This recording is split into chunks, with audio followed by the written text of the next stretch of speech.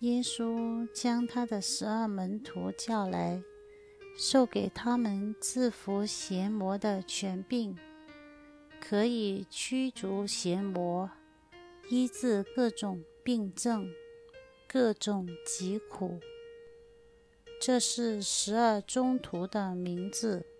第一是称为伯多禄的西满，和他的兄弟安德烈。在伯德的儿子雅各伯和他的弟弟若望、腓里伯和巴尔多禄茂、多莫和税利马窦、阿尔斐的儿子雅各伯和达斗、热诚者西满和富卖耶稣的犹达斯伊斯加略。耶稣派遣这十二人。嘱咐他们说：“外邦人的路，你们不要走；撒玛尼亚人的城，你们不要进。你们宁可往以色列家迷失了的羊那里去。